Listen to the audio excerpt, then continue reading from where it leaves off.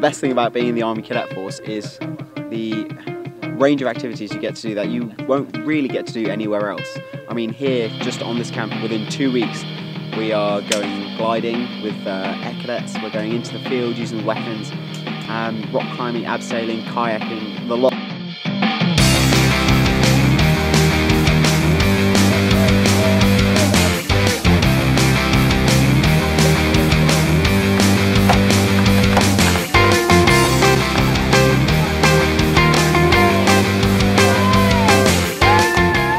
Um, going to camp gave me the opportunity to escape from uh, my life for uh, two weeks and uh, just have fun. The camp helps the cadets. A lot of them have never left their parents. A lot of them are quite young, 12, 13, and have never spent a week, let alone two weeks away from home.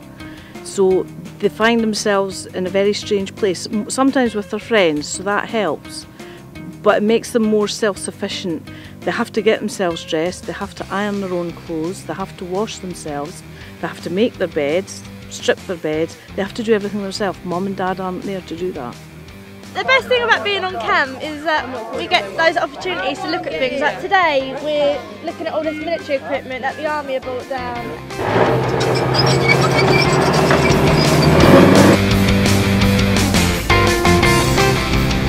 Yeah, it was good. It's a good experience. Really loud though. Yeah.